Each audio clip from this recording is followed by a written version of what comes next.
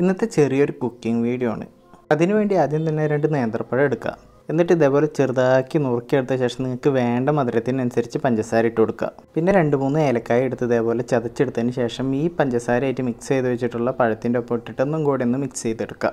Mix ചെയ്യുമ്പോൾ നന്നായിട്ട് mix ചെയ്യണം. എന്നാലേ ഈ പഞ്ചസാരയും പിന്നെ ഏലക്കായുടെ ഫ്ലേവറൊക്കെ പഴത്തിന്റെ എല്ലായിടത്തും ആവുള്ളൂ. എന്നാലേ അതിന്റെ ആ ടേസ്റ്റ് കറക്റ്റായിട്ട് കിട്ടുള്ളൂ. പഴം ഇതേപോലെ മിക്സ് ചെയ്ത് വെച്ചിട്ട് ഒരു അഞ്ച് മിനിറ്റ് കഴിയുമ്പോൾ ഒരു പാൻ എടുത്ത് വെച്ചിട്ട് അതിലേക്ക് കുറച്ച് നെയ്യ് ഒഴിച്ചു കൊടുക്കുക. ഈ നെയ്യൊക്കെ ഒന്ന് ചൂടായി വരുമ്പോൾ നമ്മൾ മിക്സ് ചെയ്ത് വെച്ചിട്ട് പഴം ഇതിലേക്ക് പതുക്കെ ഇട്ട് കൊടുക്കുക. ഇട്ടതിന് ശേഷം എല്ലായിടത്തേക്ക് ഹീറ്റ് കിട്ടാൻ വേണ്ടിയിട്ട് ആ പഴം ഒന്ന് സ്പ്രെഡ് ചെയ്ത് വെക്കുക. അത് കഴിഞ്ഞിട്ട് അത് പതുക്കെ ഇളക്കി കൊടുക്കുക. പഴം നന്നായിട്ട് ഇളക്കി കൊടുത്തില്ലെങ്കിൽ അത് അടിയിൽ പിടിച്ച് കരിയാൻ ചാൻസ് ഉണ്ട്. അതുകൊണ്ട് തന്നെ എപ്പോഴും ഇളക്കി കൊടുത്തുകൊണ്ടിരിക്കണം. ഈ പഞ്ചസാര കുരുകി ആ പഴത്തിനൊരു ഗോൾഡൻ കളർ ആവണ വരെ ഇങ്ങനെ ഇളക്കിക്കൊണ്ടേയിരിക്കണം. ഇത് ഗോൾഡൻ കളർ ആകുമ്പോൾ ഇതിനൊരു അടിപൊളി സ്മെല്ലുണ്ട് ആ ഏലക്കായയുടെയും പിന്നെ ആ നെയ്യുടെ ഒക്കെ എല്ലാം കൂടിയിട്ടുള്ളൊരു സൂപ്പർ സ്മെല്ല് നേരെ പാനിൽ നിന്ന് എടുത്തൊരു ബൗളിലേക്ക് അങ്ങോട്ട് തട്ടിയിട്ട് അങ്ങോട്ട് കഴിച്ചു നോക്കാം.